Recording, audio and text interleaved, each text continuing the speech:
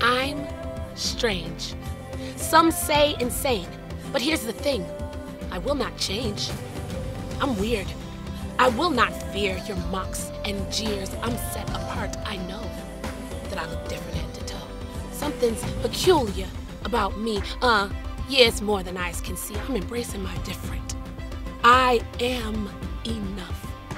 My hair, my skin, all of my stuff, my weight, my eyes, the way that I walk, the tilt of my head, the umph in my talk, the chub in my cheek, the crust on my feet, the joy in my smile, the crooks in my teeth, my height, my nose, they're all mine.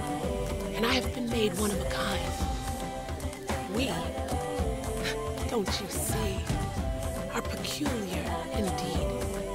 The strangest kind, the rarest breed. Strangest in town. And strange is the head that wears the crown.